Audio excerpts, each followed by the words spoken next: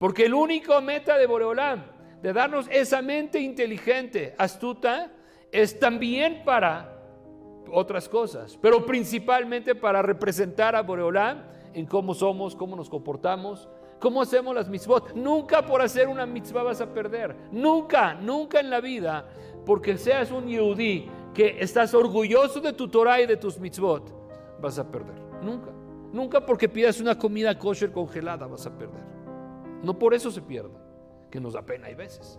O que nos da pena decir que, que somos Yehudim o rezar en un lugar público. ¿Por qué te da, si te tocó la tfila ahí, di la tfila ahí? ¿Por qué no? ¿O por qué hemos perdido el valor del orgullo de decirle a nuestros hijos, eso no es para nosotros? Eso no se come, eso no se habla. Un yudí tiene que estar en ese nivel en donde ve algo que va en contra de la moral, en contra de lo correcto y decir, wow, ¿qué pasó? Eso no es para mí.